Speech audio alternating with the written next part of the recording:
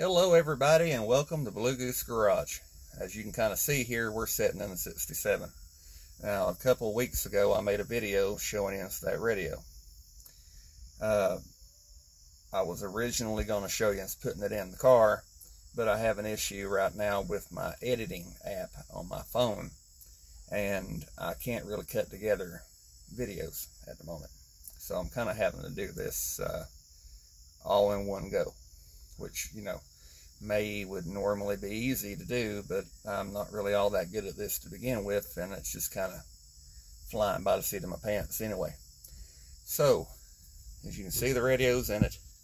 Let's go up under the dash and try to show you something.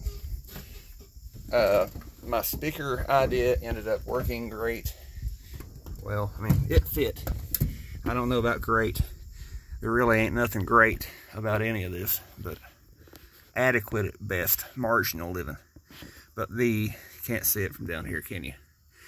All right, so when you're going to put a speaker in the car, you have to have the heater controls and the radio out. Well, I had all that out anyway. So I put the speakers up in up in there, and with my third hand started a bolt in it, and uh, then I put the radio in it and, and the heater control. Uh, I can remember working on this car thinking I had all kinds of room under this dash, and I, you don't really. There is no room under that dash. In the middle of it right here, that's just about as bad as a new car. And definitely heavier. There's nothing light on a 67 Chevelle. The radio probably weighs 25 pounds and the it's just it's literally between everything on this side of the dash and that side of the dash it's like 50 pounds in a 20 pound bag. So it's kind of it's also kind of like a puzzle that you don't have a box of so you're just kind of guessing at things. And, uh, one thing I did want to kind of mention on here uh, I've been online I've been on Facebook I've been on everything trying to find uh, diagrams and pictures and stuff on the way that the console wiring is supposed to be. And so far I've not came up with anything that is accurate. Now, accurate being everybody's showing how to do it with a car that is not a factory console car. So everybody's saying, oh, you got to tie into these wires up in here and up in there, and you got to make everything work. But that's not how this car was wired because this car was a factory console car. And I've not been able to find the diagram for a factory harness car. You can find diagrams for replacement harnesses and you can find stuff for putting one in, but you can't find one for this is my point. So you see where that plug is that's coming from the dash, the one wrapped with black tape that's laying on top of the heater box. All right. You see that. You see this.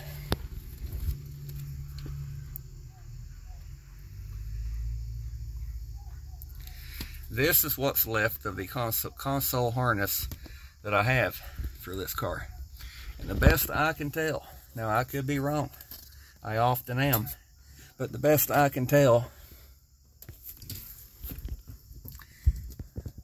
that wiring harness clips onto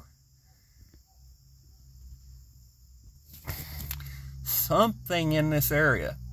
I've not quite figured it out yet, but it clips onto something in this area and dips down behind the, the heater box and goes down the carpet and comes out about right here.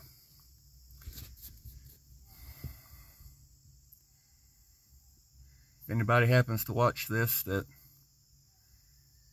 has experienced this, I would much appreciate it if uh, you could kind of lead me in the right way. But I've been looking for six months and I've not found anything yet. All right, so you can see that the radio's in the car, all this stuff, that's looking a lot better than I ever expected this to be. You can, yes, you can see the speakers. I'm fine with that. It's got two speakers in the dash. It's going to have two speakers back here. I'm going to put them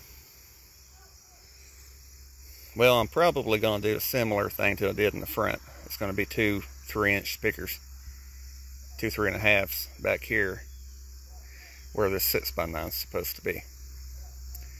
Because this car was a well, this car was a single speaker AM car. It didn't have one back here when it was new. But I'm going to put two speakers back here under the under the deck because even though this is rusted to death and missing pieces of it, I'm not cutting that to put two six by nines back here. I might. I might. But I really don't want to. Alright, so uh, the next video on this car, uh, I've got it parked for winter. I'm not driving it again until next spring. In the next uh, couple weeks, I'm going to get it back inside and I'm going to start working on it, doing what I did over here, over here.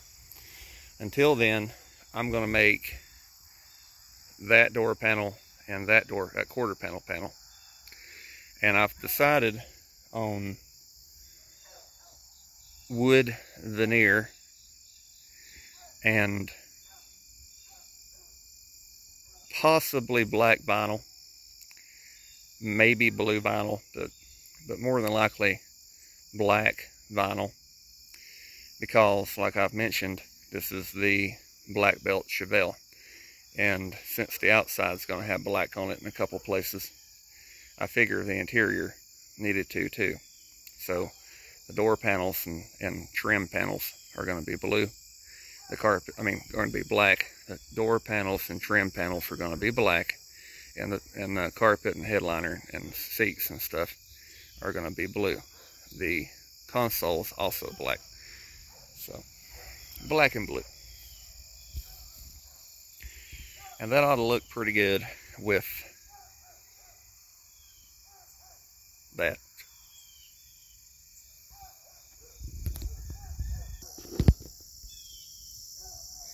You know, I don't know if you can see that anymore, but that's the original driver's side door to my car. So you you see this faded paint here, and there's a little darker blue through here. See it at top and bottom. that would have looked like. Well, that. Anyway, I'll uh, see us again next time. Uh, like, comment, subscribe.